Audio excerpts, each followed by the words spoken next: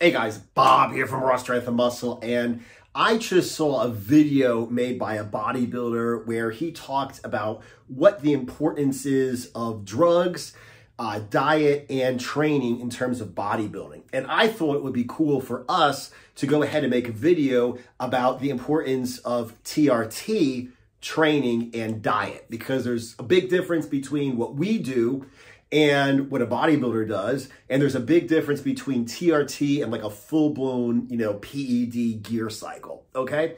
So, first of all, what he basically said was that diet is the most important. Okay. No matter how many drugs you take, no matter how hard you train, you're not going to lose weight. If you're eating too much, you're not going to gain weight. You know, if you're, if you're not eating enough, and, uh, you know, basically diet is the most important is what he said. Okay. Then he said that PEDs are the next most important. Okay. What he basically said was that he knows like a lot of guys who, um, you know, train different ways. Like they'll train like high intensity, like fewer sets, high heavy weight, or they'll just do like a lot of pump sets, you know, and stay there in the gym longer with lighter weight.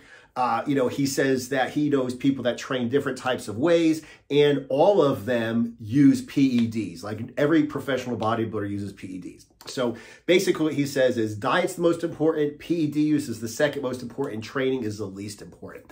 Now, Let's go ahead and talk about this from our point of view, okay? If you are watching these videos, if you're watching this channel, basically what you want to do is get to like the top 10% or hopefully the top like 1% in terms of health, longevity, appearance, and performance, okay, in terms of like, you know, the strength that you possess when you go to the gym, okay? So if you're like among like the you know, strongest guy in your gym, not the strongest guy, but among the strongest guys in like your gym, okay? If you're one of the biggest guys, one of the leanest guys, one of the healthiest guys in your gym, you are like top 1% of the world, okay? You're not going to be, you know, bench pressing like 2,000 pounds for one rep and die of a heart attack by the time you're 30 because, you know, you had like, you know, you're just taking PEDs and just eating and didn't care about your health and destroyed your joints, okay? You're not going to be like negative 0% body fat for like one day, win the Mr. Olympia, and then just balloon up and get fat again.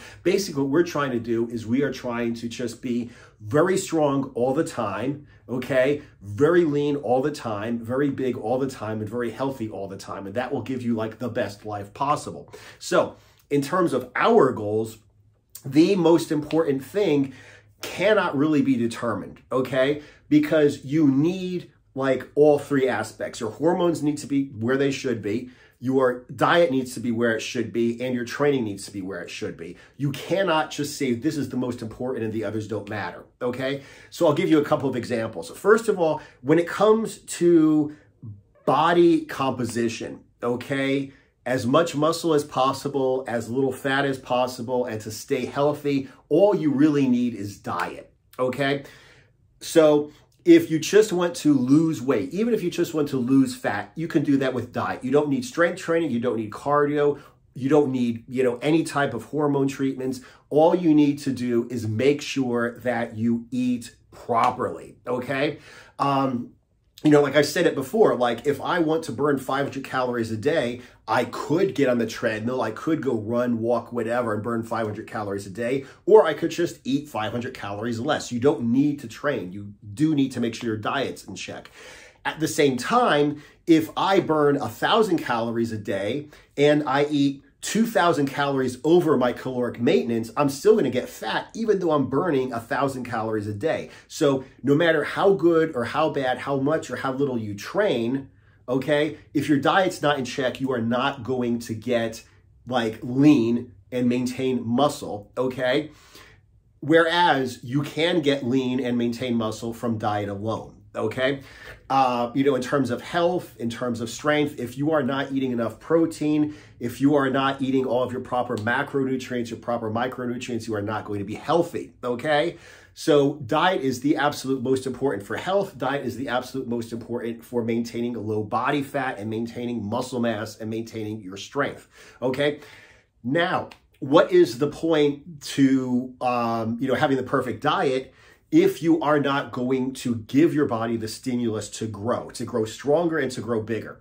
Because your diet can be absolutely 100% perfect. Okay, your hormones can also be 100% perfect, but the reason why your body physically changes, aside from fat loss, is or fat gain, is going to be because of the training if you want to run a marathon, you damn well better get out and run a damned marathon. If you don't train like a marathon runner and effectively train like a marathon runner, you are not going to become a marathon runner. If you want to get strong, do lots of pull-ups, do lots of weighted pull-ups, if you want to do squats, whatever you want to do, you need to train properly to do that, okay? No matter how good your diet is, no matter how good your hormones are, you are never going to get the physical effect that you do not train for. Now, it's interesting when he says that training was least important because he said, I know some guys who do high intensity training. I know guys who do light weights, high sets, pump sets, you know, and everybody is, you know, in shape. It does. So basically what he says is it doesn't matter what kind of workout you do, as long as your gear and your diet are in check, you're going to get results but that's not true. See, he is a expert amateur bodybuilder, I believe. Okay.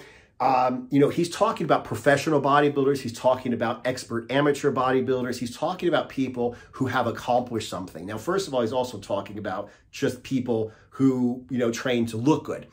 Now, if I go to the gym I'm going to see all kinds of people that train completely wrong, and they are never going to get results until they train properly. You could shoot them up with all the gear in the world, you could give them the perfect diet. If they just go and they kind of like look around and they don't really know what they're doing, and like, okay, well, I'm going to walk on the treadmill for a couple minutes, and then I'm going to do, you know, do some lateral raises with five pound dumbbells to build my lats, and then, um, you know, I don't know, do some, you know, concentration curls with a two and a half pound dumbbell because that's how you get big guns and, uh, you know, whatever, them to go home. You need to train properly. Like I said, he has a bias. I'm not saying he's a bad person, but he's a, has a bias because everyone he knows, everyone he trains around is somebody who knows what the hell they're doing and they get results. So, like I said, I mean, if you don't train properly, specifically for strength, you're not going to get strong. If you don't train properly to get big, you're not going to get big. So you definitely need to train. Training is the stimulus. So diet only supports the stimulus. If you eat proper caloric, you know, your proper calories, your macronutrients, your micronutrients, your protein, etc., and you don't train, you're not going to grow because you need the stimulus for growth break your body down in the gym, and then you rebuild using the materials from your diet. Okay. So, yes, diet's the most important, but without the stimulus, okay, you are not going to train. I heard somebody at one point say, like, deliver a whole bunch of bricks and a whole bunch of two by fours to a building site, but if they don't have workers there to actually build a house, you're never going to have a house built regardless of what building materials you have. Eat the perfect diet if you don't break your muscles down for them to regrow using those raw materials you're consuming in your diet, you're never going to get any results, okay? And like I said, most people have no clue what they're doing. The few people who actually do go to the gym and get something resembling results, when's the last time that you saw somebody with a notebook? Like literally writing down like exactly how many sets, exactly how many reps they did, exactly when they did it, trying to add like a one and a quarter pound plate or a two and a half pound plate here and there, trying to get one more rep here, trying to get one more rep there. How many times do you see somebody with like a timer timing the rest in between sets? I mean, there's a huge difference between doing you know, a set of deadlifts and waiting one and a half minutes and doing another set, as opposed to doing, um, you know, a set of deadlifts and waiting six minutes you know, and doing another set. I mean, you need to have everything perfect. You have your workouts have to be perfect, scheduled perfect, timed perfect, recorded perfect, increase the intensity perfect. Everything has to be perfect to get good results. Okay. So, like I said, diet controls your ability to lose fat. It also controls your ability to build muscle, but you only build muscle if you properly train. Now, the thing about the uh, testosterone replacement or the hormone replacement therapy, uh, you know, some people have problems with their thyroid. Okay, that is just to optimize the work you're going to put in and the diet you're going to get. Okay, I know, like personally, I've spoken to a lot of people who are on testosterone replacement. Okay, and they did it for like health reasons they did it so they feel better you know depression you know whatever just sexual reasons like they're you know to work on their libido etc they don't work out okay so the point is like they look like healthy people. You know, like, wow, for a 40, 50, 60 year old guy, that guy looks, you know, pretty good. He looks pretty healthy. Okay. Obviously, you're going to have more muscle and less fat if you got the testosterone of an 18 year old, okay, than if you have the testosterone of a 40, 50, or 60 year old, okay? So, yes, it certainly does help, but none of them look like bodybuilders. None of them look like athletes. None of them look like Stallone in his 70s, okay? None of them look like that because they do not train, okay? They do not diet properly. So just like a diet is only going to support your training, which is the stimulus to grow stronger and bigger, it's the same thing with the hormones, okay? Like Right now, okay, when I go to the gym, I basically see myself as an 18 year old, as a 20 year old, even though I'm 47. I'm going to be 48 in two weeks.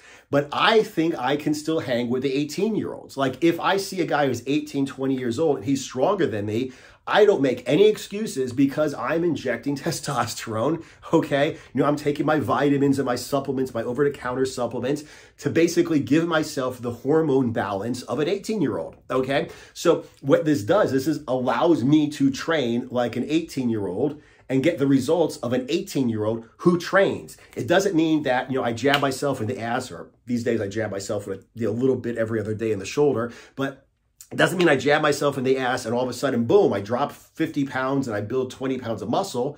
It means basically that it gives me the ability, if I eat properly and if I work out properly, that I will get the results that I would have gotten if I was a much younger man. Okay. So basically, that's what it comes down to. Yes, diet is the basis. If you're malnourished, i.e. not getting all of your micronutrients, all of your macronutrients. If you're starving, not getting enough total calories.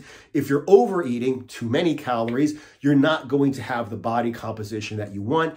And no matter how well you train or no matter how good your hormones are, you are not going to get results unless your diet is right. Now, as perfect as your diet and your hormones are, if you don't train, you will not have the stimulus. Yes, you will be leaner and more muscular and stronger and healthier than someone who doesn't have proper hormonal balance, okay? But if you do not have the training, the stimulus to grow your body bigger and stronger, you're not going to get results regardless of how good your hormones and your diet are.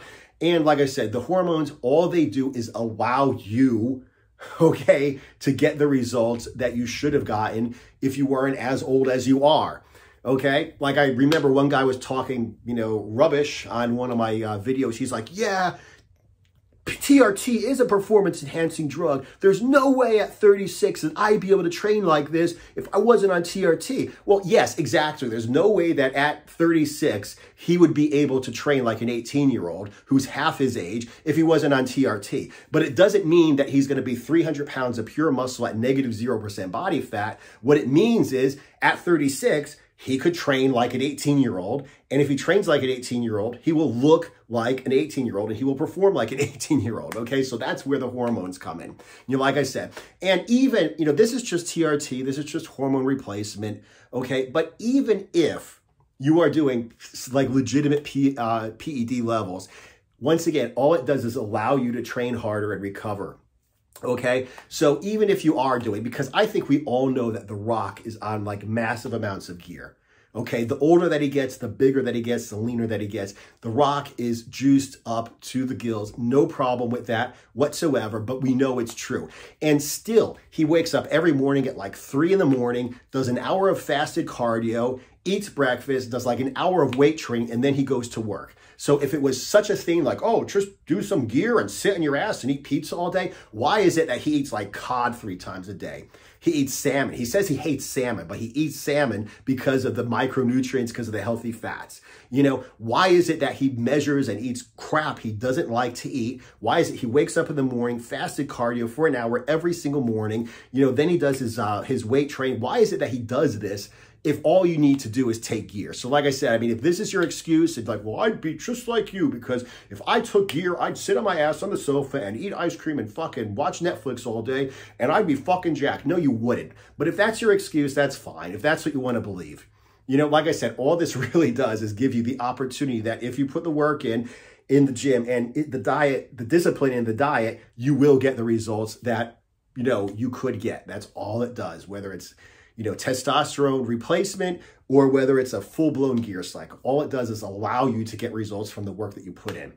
As a matter of fact, people who are on testosterone replacement usually work harder and diet harder than people who aren't. And people who are on PEDs work very hard or tra and train very hard, okay? And if they don't, they look like rubbish because it's just the way things are. You know, you've seen me, I had some uh, problems with my diet. I had like some uh, inflammation because I was taking carbs pre and post workout and my body started breaking down because I can't handle carbs anymore. And guess what? I got weaker and I got fatter.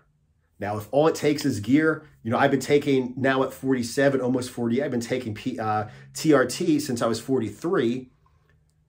If all you have to do is just jab yourself in the ass, why is it that when I work out, I look good, feel good. When I don't work out, don't diet, I look bad, feel bad. So anyway, that's the way I break it down. Let me go ahead and you know ask you guys down below, especially if you're on TRT, especially if you train, especially if you diet, like what is it that you think is the most important? Testosterone replacement or hormone replacement, diet, or training. Anyway, thank you guys for watching. I appreciate it. Looking forward to seeing your comments. Uh, and I'll see you guys in the next video.